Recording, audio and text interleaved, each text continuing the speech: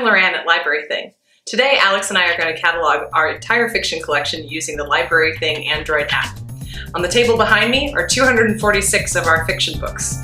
Let's see how fast we can catalog them.